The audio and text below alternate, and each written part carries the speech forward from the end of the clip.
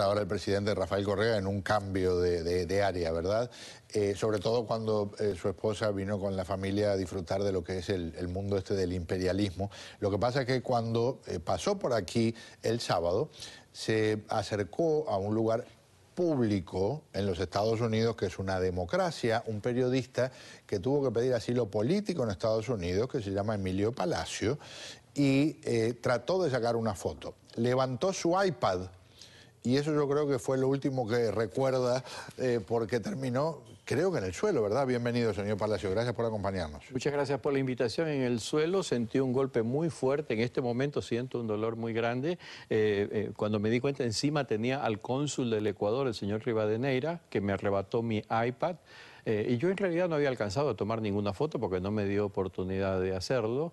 Eh, hubo otras agresiones más. El día de hoy estuve en el aeropuerto de Miami eh, conversando con la policía, dándole un informe detallado de lo que ocurrió.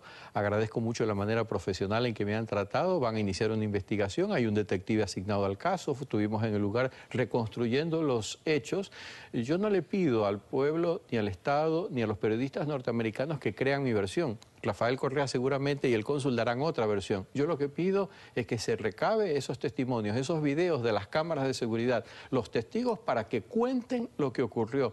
Porque le digo una cosa, Pedro, esta agresión tiene un objetivo, acallarme como periodista que sigue denunciando lo que ocurre en el Ecuador. Y como no me voy a seguir callando, me volverán a atacar. Necesito que quede la evidencia para que cuando ocurra este nuevo ataque, eh, todo el mundo sepa quién es el culpable. Yo responsabilizo al gobierno ecuatoriano de esa agresión y las pruebas tendrán que demostrarlo. El gobierno ecuatoriano ha respondido a lo que plantea el señor Palacio, lo ha hecho el mismo presidente Rafael Correa.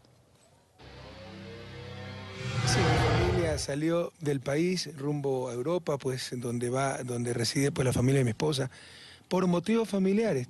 tiene que pasar unos días en cuestiones de seguridad, no voy a decir exactamente dónde, por Estados Unidos, impresionante. En escala que hicieron en Miami, este enfermo de Milo Palacio, con los gusanos estos de eh, contrario a la revolución cubana y sus pasquines, en zona prohibida, esperados para tomar fotos y publicaron que habían ido de compras a Estados Unidos a aprovechar las ofertas de verano. Eso es una grosera mentira. Han tenido que pasar cuatro o cinco días por Estados Unidos por motivos familiares, que todavía por cuestiones de seguridad no puedo revelar. Lo revelaré más tarde y demostraré la nueva mentira. Pero esta gente que es miseria humana, ¿no? O sea, qué, qué pobreza humana. Y este Emilio Palacio, un verdadero enfermo, pobrecito, ya está pena, no está, es un psicópata este tipo, pero son los más peligrosos, los psicópatas enfermos. No, hay gente incluso que le dice psicópata a los presidentes que hacen leyes para perseguir a los periodistas. Son súper peligrosos los psicópatas. Pero ¿cómo se siente usted, señor Palacio, con la declaración que le hace nada más y nada menos que el presidente de su país? Pero no sé si usted alcanzó a, contar la cantidad de insultos que dijo en ese breve espacio de tiempo. Esto era todos los días en Ecuador, ha sido todos los días desde que el gobierno asumió el, poder contra mí, contra todos los periodistas. Por eso yo tuve que oír. Y es el tipo de respuestas que él da cuando nosotros hacemos una denuncia. Yo he denunciado que el cónsul me atacó y me golpeó por la espalda. Lo que el presidente contesta no es sí, es verdad, no es verdad, ocurrió esto. Lo que contesta es gusano, eh, psicópata, enfermo y en un tono que es eh, la característica de él. Él insulta, su cónsul golpea. Esos son los mecanismos con los que ellos quieren acallar y acabar con la libertad de expresión. De la forma que está planteado el asunto, usted ya hizo entonces la denuncia policial formal. Así es, lo que falta ahora es recabar los testimonios, porque lamentablemente todo esto ocurrió, seguramente ellos lo calcularon muy bien, en el momento en que los periodistas que tenían cámaras ya se habían retirado. Y entonces no tengo yo ninguna evidencia, pero están las cámaras de televisión, están los testigos y ellos tendrán que decir la verdad sobre lo que ocurrió. Por cierto, le agradecemos a Diario Las Américas que eh, nos eh, cedió fotos del pasaje de la señora.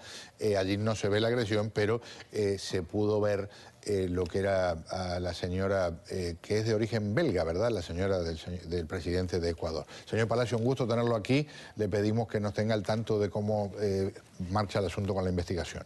Muchas gracias a ustedes. Y que se mejore pronto. Muchas gracias también por eso. Ya regresamos, damas y caballeros, para rematar esta edición de A Fondo.